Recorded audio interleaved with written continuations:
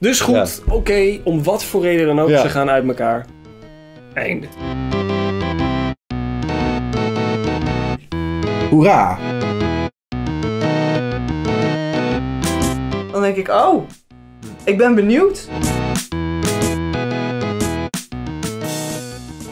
Vandaag bespreken wij de column van Erdal Balci in de Volkskrant over westerse zelfkritiek. En die column is gepubliceerd op 3 juni 2019. Naast mij zit vandaag Eniet Vlooswijk. En zij is wetenschapsjournalist. En dit is ook onze eerste ontmoeting. Misschien een leuk saillant detail. Eh, jij hebt deze column ook aangereikt als onderwerp. Klopt, ja. Nou, Erdal Balci, even wat Wikipedia-informatie over hem voor mensen die, eh, die niet weten wie hij is, want ik wist dat tot voor kort ook niet. Hij is eh, journalist en schrijver, geboren in Turkije en ook een tijdje voor trouw correspondent geweest in Turkije. En hij heeft gewerkt voor Vrij Nederland, de Volkskrant, Nieuwe Revue, De Standaard en De Groene. En nu is hij dus columnist bij de Volkskrant en HP De Tijd. En wij bespreken dus een column van hem in de Volkskrant. De titel is Hebben de slaven Nederland echt rijk gemaakt? Dat vind ik een interessante eh, vraag. Prima vraag om te stellen. ja het is ook een vraag je- die gesteld wordt door historici regelmatig. Ja, ja. En als je die vraag leest als titel van een column, dan, Dan, denk je, je, daar komt een antwoord. komt er antwoord op. Ja, En de column zal daar helemaal over gaan, denk je ook. Proeven we in ons brood het zout van het zweet van de slaven? Voelen wij de aanwezigheid van hun grote zwarte ogen in onze rug als we op dure vakanties zijn?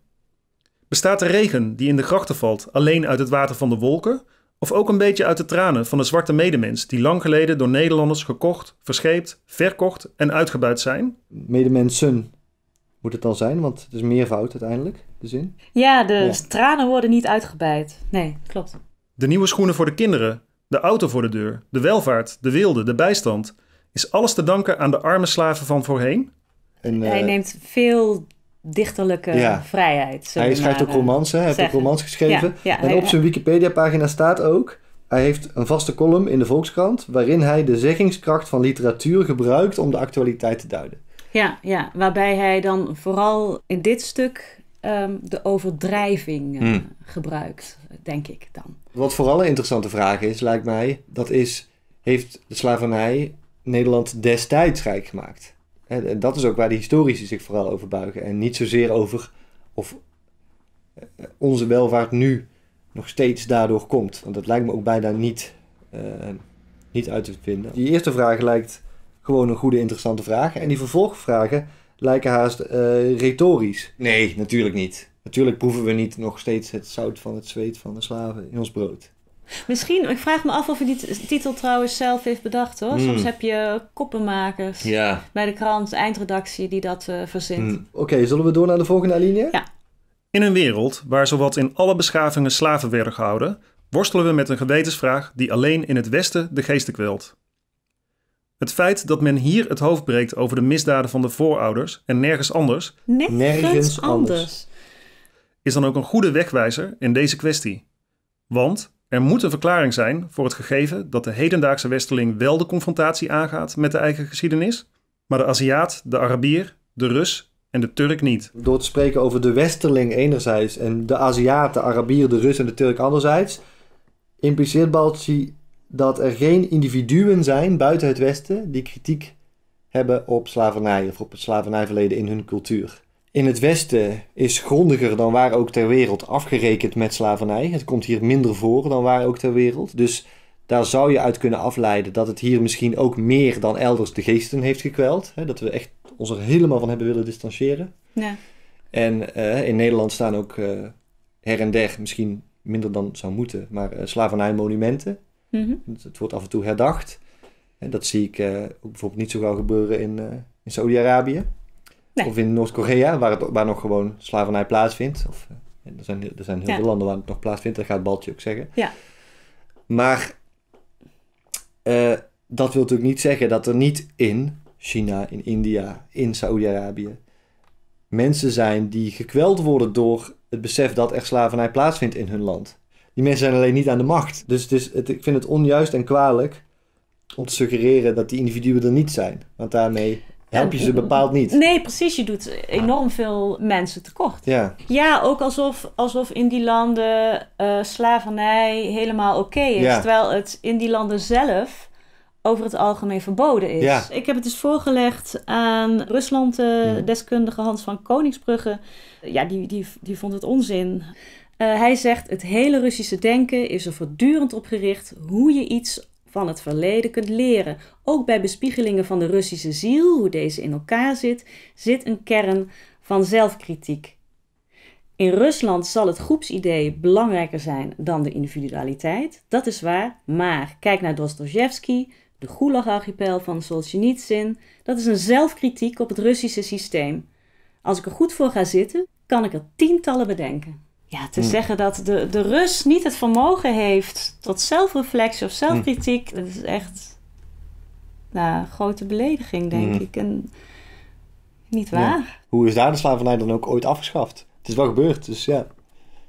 In Rusland ook. En dan noemt hij nog de Aziat. Kijk naar China. Heb ik ook iemand eh, over gesproken. Hilde de Weert. Zij is eh, in Leiden hoogleraar eh, Chinese geschiedenis. De Chinezen sporen hun machthebbers al eeuwenlang aan om kritisch in de spiegel te kijken. Al in het begin van het eerste millennium voor onze tijdrekening gebruikten ze de spiegel als metafoor voor wat de geschiedenis te bieden heeft en waaraan personen, handelingen en instellingen moesten worden getoetst. De Gouden Spiegel, een invloedrijke tekst uit de 7e eeuw, gaf bijvoorbeeld machthebbers een beeld van hoe ze zich moesten gedragen.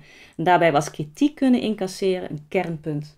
En natuurlijk, China is nou niet bepaald het meest eh, vrije land eh, Ja. ter wereld. En als je nu je, de machthebbers aanspoort Hmm. om, eh, om kritisch in een spiegel te kijken, dat kun je misschien maar beter niet doen. Hmm. Want ik wil niet zeggen dat Chinezen en de Chinese cultuur nooit in staat geweest zijn Ja. of nooit meer zullen zijn Ja. om eh, kritiek te incasseren. Ja. Dus Het is veel veranderlijker dan Balci doet. ja, hij Schijnen. stelt, hij, hij, hij, hij, hij stelt het zo eh, rigoureus, onveranderlijk, Ja. statisch. Dat doet echt geen recht aan de werkelijkheid. Daarmee vliegt hij echt uit de bocht. De volgende alinea? Ja, Het vermogen om in de spiegel te kunnen kijken, om de eigen ziel op de pijnbank te kunnen leggen, is iets van de westerse wereld. dat vermogen. Het vermogen. Ja. eh, Vermogen is het in ons brein gewoon. als je dat dan alleen toeschrijft aan het Westen, dat is bijna. Dat, dat, dat klinkt redelijk racistisch. Ja. Bekwaamheid in zelfkritiek is onderdeel van de voortdurende ontwikkeling waar het Westen zich onderscheidt van de rest van de wereld. Ja. Zelfkritiek is ook zoiets breeds. Wat Ja. wat bedoelt hij precies met eh, Ja. zelfkritiek? Is dat kritisch naar jezelf als Mhm. persoon kijken? Is het kritisch als overheid kijken naar daden in het verleden? Of van voor, is, is het kritisch kijken naar je voorouders? De Nederlandse overheid bijvoorbeeld. Ja, we zijn heel zelfkritische houding. Nee, dat is Ja, notoire dat, moeilijk. Dat, dat, die indruk heb Ja. ik niet. Je zou wel kunnen zeggen dat iets als machtenscheiding Mhm. ingesteld is op basis van het idee van er moet kritiek binnen het systeem mogelijk zijn. Als Ja. de rechter de overheid terugfluit. Ja. In Nederland bijvoorbeeld zou je kunnen zeggen dat de overheid aan zelfkritiek doet. Ja, En je hebt natuurlijk nog redelijke zelfkritiek. En je hebt onredelijke, eh, contraproductieve zelfkritiek. Hè? Je eigen ziel op de pijnbank leggen, dat is ook alweer een hele poëtische formulering.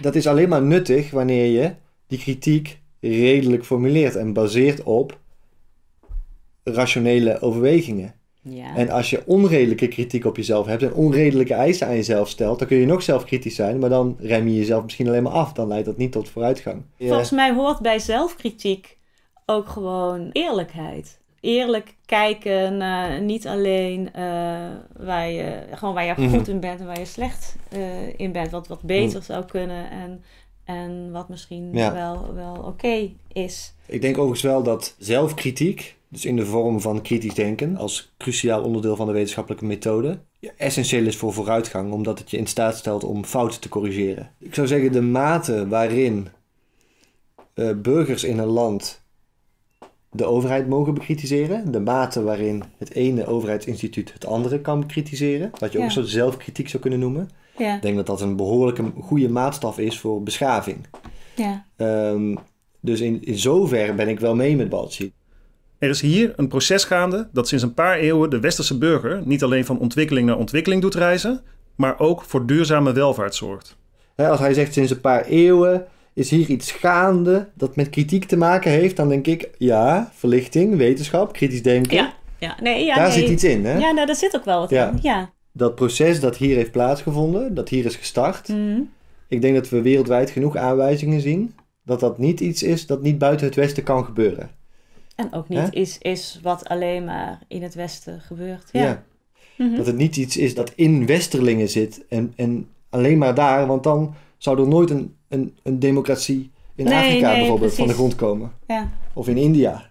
En dat gebeurt wel. Ik noem dat proces de magische band tussen de grote denkers en het volk. Als er iets niet magisch is, dan is het wetenschap. Sinds een paar eeuwen heeft het Westen, is het Westen begonnen aan vrij grondig afrekenen met magie, zou je kunnen zeggen. Namelijk godsdienst. Dus Mm. bij die vorige alinea denk ik nog, ik vind het slecht geformuleerd, maar ik snap een beetje... Als je dit bedoelt, dan zit er iets in. En vervolgens zegt hij, nee, dat bedoel ik niet. Ik bedoel magie. Ja, oké, dan nemen we hier afscheid. Ja, maar wat, wat- ik wil graag weten wat hij dan zou bedoelen. Welk, welk proces Ja. noemt hij de magische band tussen de grote denkers Ja, en het volk? Bedoelt hij, denk ik, dat de ideeën van de grote denkers, dat die doorcijpelen uiteindelijk Mhm, eh, in onze cultuur? mhm. Wat is Ja. daar magisch aan? Ja. Dat is gewoon een historische ontwikkeling. En er waren ook al eerder, al voor de verlichting, waar die toch naar lijkt te verwijzen met die paar eeuwen. Voor de verlichting waren er ook in het Westen en buiten het Westen al grote denkers die uiteindelijk het volk beïnvloeden. Dat waren alleen vaak religieuze denkers. Dus je had al eh, Thomas van Aquino bijvoorbeeld, die zou je dan misschien nog wel westers kunnen noemen, maar die is in ieder geval veel ouder dan de verlichting, die ook heel invloedrijk was. Eh, ja. En Confucius eh, in China. Een invloedrijke grote denker zou je kunnen zeggen. Die uiteindelijk ook het, de gewone Chinezen heeft bereikt. ja. Magisch suggereert niet alleen onverklaarbaarheid, maar ook onherhaalbaarheid. En dat vind ik kwalijk omdat... Juist, Eh, juist omdat juist- hij zegt, eh, daarmee onderscheiden wij ons van Ja, het fundamenteel. niet-Westen. Ja, ja. En, en eigenlijk, wat je zou kunnen denken als je dit leest is... Chinezen hoeven niet, proberen, niet te proberen hun eigen verlichting te Nee, nee, bewerkstelligen. nee. Die magie, die magie die hebben zij niet in huis. Lightning in a bottle, wanneer gaat het weer gebeuren? Het was zoiets te uniek magisch westers. Ja. Laten we nou maar gewoon die dictator accepteren. Hè, dat, dat is een gevaar, vind ik, dat hier op de loer ligt. ja. In een tijdsbestek van een paar eeuwen heeft het westerse individu de natuurlijke drang om altijd het eigen belang na te jagen overstegen. En is, zoals we bij een wielerpeloton ook zien gebeuren, leren balanceren tussen het instinctief najagen van het eigen belang en zich uit vrije wil ondergeschikt maken aan het grote geheel. Nou, dit is echt zo'n kul. Ja, Die natuurlijke drang om het eigen belang na te jagen en dat te overstijgen. eh chimpansees hebben dat al. en sociaal gedrag is ook in je eigen belang vaak. Dat Ja. leer je ook, hè? Ja, ja. Dus, Ehm, en, en het Westen is juist uitzonderlijk individualistisch qua cultuur. Dus je zou kunnen zeggen dat er hier juist heel veel ruimte is om je eigen belang na te ja, streven. dacht ik ook inderdaad al. Om terug te komen op het slavernijvraagstuk. Oh ja, daar ging het eigenlijk over. Hè? Oeh. Ook Egyptenaren, Ottomanen, Arabieren en Russen, het systeem van de lijfeigenschap, hebben zich daar schuldig aan gemaakt.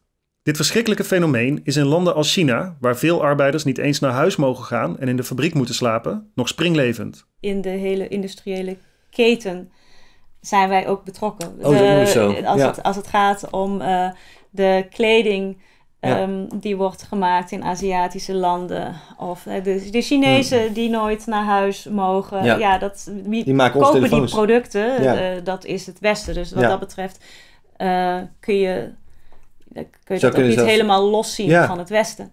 De situatie van de Aziaten in de golfstaten is niet veel beter dan die van de zwarte slaven van voorheen in Mississippi.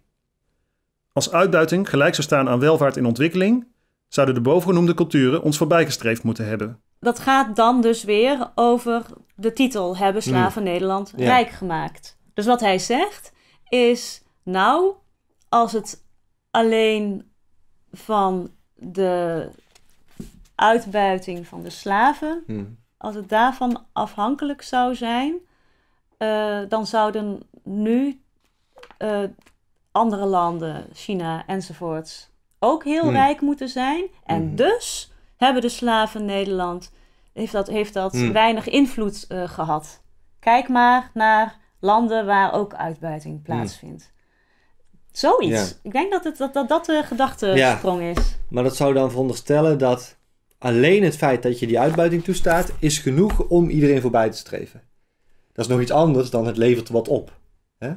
Mhm. Weer, weer een overdrijving zou je kunnen zeggen. Dat is niet het geval en voorlopig zal dat zo blijven. Nou, China, dacht ik meteen aan, ik dacht ook meteen aan China. is hard op weg om de grootste economie van de wereld te worden volgens mij. Onze welvaart en ontwikkeling zijn de opbrengsten van een van de belangrijkste keerpunten in de menselijke geschiedenis. Hier zijn grote denkers erin geslaagd iets teweeg te brengen bij de massa's. Hun gecompliceerde literatuur is op de een of andere wijze in de lucht gaan hangen. Dat is ook weer, Weer eh, magisch. magie. Het hangt Op in de de een lucht. of andere wijze in. Wat dacht je gewoon van boekdrukkunst? Eh, ja, ja. mensen kunnen het lezen. Met de tijd zijn die ideeën neergedaald naar de denkwereld van de gewone mensen. Dat de denkers uiteindelijk de gewone mensen beïnvloeden, was niet nieuw aan het verlichte Westen. Mhm. Nieuw was de rationele manier waarop de denkers dachten. En de ambitie alle gewone mensen op te leiden tot meedenkers. Mhm. Dus niet meer, ik ben de grote denker, dit is mijn grote idee. Jij, massa, gaat het nu overnemen en uitvoeren. Het, ging, het was eigenlijk nog revolutionairder dan dat.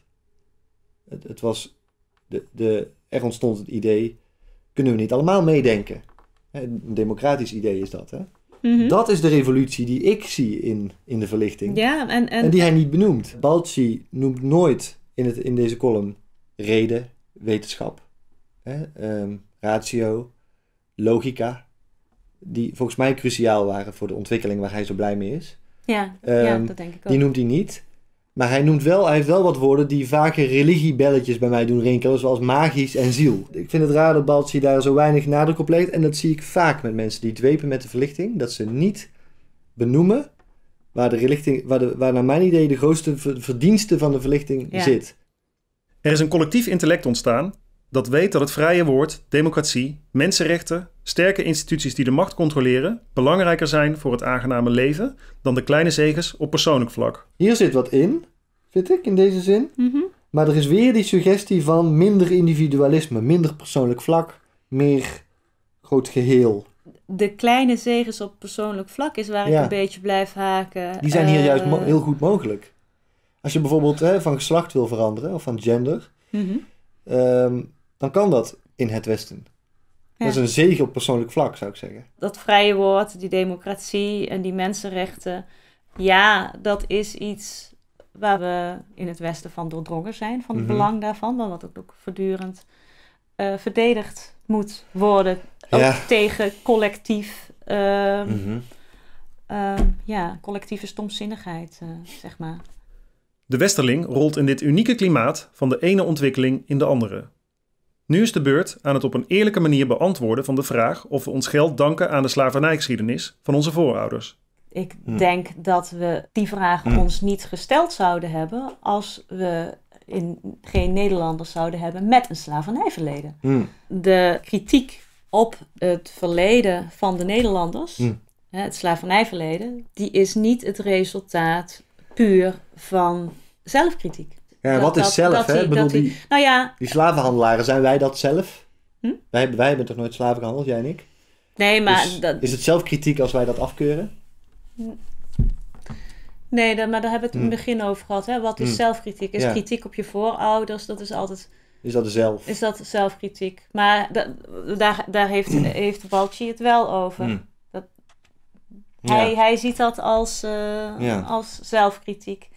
En ik denk dat veel mensen het ook, dat je- veel mensen het daarom ook moeilijk ermee hebben, om, omdat ze het voelen als Hm. kritiek op hen, op hun cultuur, hun Sinterklaas of hun, eh, hun eh, Gouden Eeuw. En zo raken historici in discussie over wat het aandeel van slavernij was in de Nederlandse economie van 250 jaar geleden. Hij is ook nog verwarrend of verwacht over of het nu gaat om de rijkdom toen of de rijkdom nu. Ja. hè, Want in het begin, hij begint met de rijkdom nu, maar daarna heeft hij het weer over de, de rijkdom 250 jaar geleden. Ja, Dat zijn twee heel verschillende dingen natuurlijk. Volgens de een was dat aandeel 0,72% Volgens de ander lag het percentage iets hoger. dit leest een beetje als, dat is een beetje geneuzel, een beetje getallengeneuzel is het gewoon. Dus hoe mooi die zelfkritiek ook is, in dit geval is het wel zo nodig allemaal eigenlijk. Ja, proef ik er toch in. ja.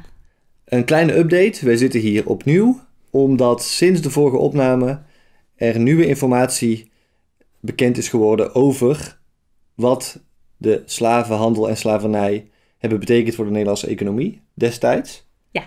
Ehm, en jij weet daar het fijne van. Nou, ik heb Dus- gesproken met de onderzoekers van het Internationaal. Instituut voor Sociale Geschiedenis. Ze hebben vijf jaar lang onderzoek gedaan naar slavernij en wat dat in de tijd, eind 18e eeuw, Nederland heeft opgeleverd. En dat was nogal wat. Ehm, dat was dus niet die 0,72 procent, nee.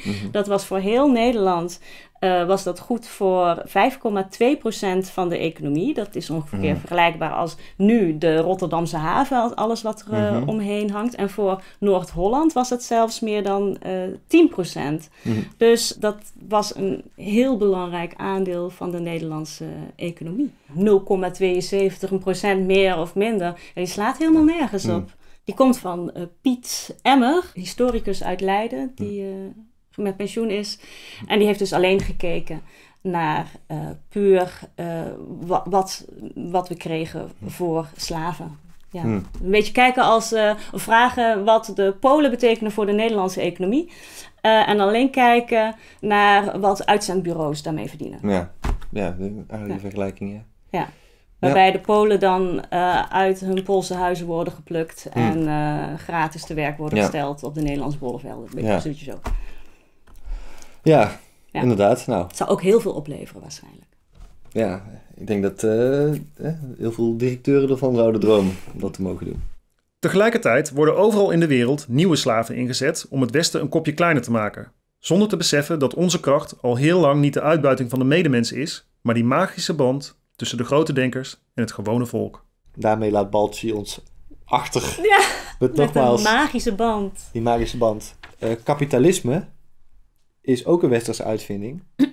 Zeker. En biedt heel veel mogelijkheden tot uitbuiting. En moedigt egoïsme aan. Alleen een democratische rechtsstaat... die kan de problemen van kapitalisme tegengaan... met regulering en een sociaal vangnet, et cetera. zeker, zeker. En dat is ook een westerse Ja. eh, verworvenheid. Ja. En China heeft een vorm van kapitalisme, westerse uitvinding, ingevoerd zonder een democratische rechtsstaat te ontwikkelen. En vooralsnog met groot economisch succes. En dat vind ik het griezelige aan China op dit moment. Die verlichtingsideeën die moeten zich met een rotvaart gaan verspreiden over de rest van de planeet als wij geen rampzalige 21ste eeuw eh, willen meemaken, is mijn gedachte. Ehm, dus het kan maar beter niet iets magisch westers zijn, anders zitten we dik in de shit.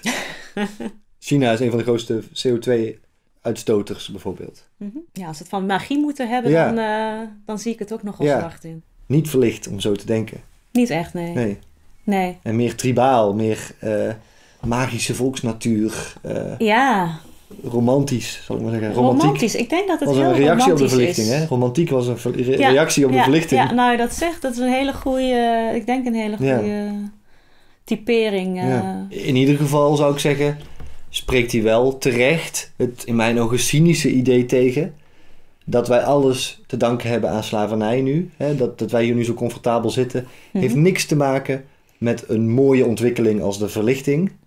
Die gewoon heeft geleid tot, tot een Hm. betere samenleving. En heeft alles te maken met uitbuiting van Afrikanen. Ja. Dat vind ik een cynische, onjuiste kijk op de geschiedenis. Mhm. En een te anti-westerse kijk.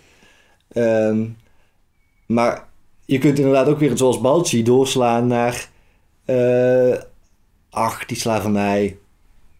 Wat heeft het nou, wat, wat, wat heeft het betekend? En, Iedereen doet het. en iedereen doet het. En dat En- wij er ons daar druk om maken, Ja. dat zegt alleen maar iets over onze superioriteit, Ja. eh, onze Ja. superieure cultuur. Als je werkelijk eh, zelf kritisch Hmm. bent, dan, ehm, dan, zou je, dan, dan, dan, dan zou je denk ik het, het alles wat niet westers is, niet zo makkelijk Hmm. afdoen als. eh, nou ja, eh, Ja. niet kritisch en, en mensen die als het ware de boot hebben gemist, omdat zij helaas Hm, eh, geen magische band met hun grote denkers hadden. ja. Hij had ook wel wat ze, een fase van zelfkritiek kunnen inbouwen in het schrijfproces.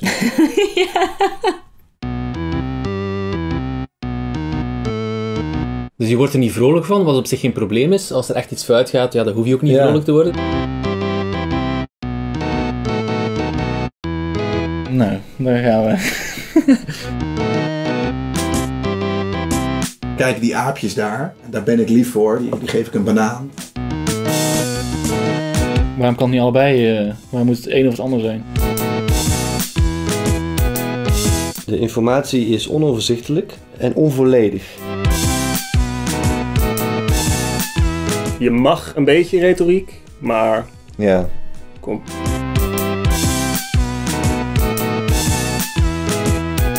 Poeh, dat is een opluchting.